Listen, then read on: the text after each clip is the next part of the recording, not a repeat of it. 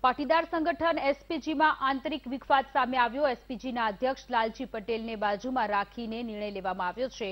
એસપીજીના અધ્યક્ષ લાલજી પટેલના નિર્ણયને કિનારે કરાયો. લાલજી પટેલે તમામ જિલ્લા અને ઝોનના પ્રમુખના હોદ્દા રદ કર્યા હતા. પૂર્વ હોદ્દેદારોએ બળવો કરી બેઠક બોલાવી. બેઠકમાં પ્રદેશ અધ્યક્ષ, ઉપાધ્યક્ષ, મહામંત્રીની નિમણૂક કરવામાં આવી.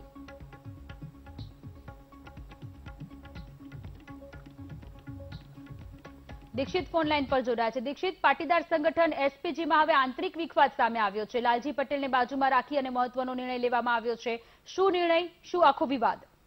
સોનલ, બે હજાર બાવીસ વિધાનસભાનું ચૂંટણીનું વર્ષ છે અને ચૂંટણીના વર્ષમાં દરરોજ પોલિટિકલ અપડેટ છે તે હવે જોવા મળી રહી છે. ગઈકાલે જે આપનું દિવસભર હાઈ વોલ્ટેજ ડ્રામા ચાલ્યો હતો, સાથે જ લાલજી પટેલ છે કે જેઓ એસપીજીના અધ્યક્ષ છે, તેને લઈને પણ મોટા સમાચાર કારણ કે એસપીજીમાં બે ભાગલા છે તે પડી ગયા છે. પાટીદાર સમાજના યુવાનના જે સંગઠન માટે આ સેવાદળ બનાવવામાં આવ્યું હતું, તો હવે એસપીજીના રાષ્ટ્રીય અધ્યક્ષ છે તે લાલજી પટેલ તેને કિનારા પર રાખી અને નિર્ણયો છે તે કરવામાં આવ્યા છે.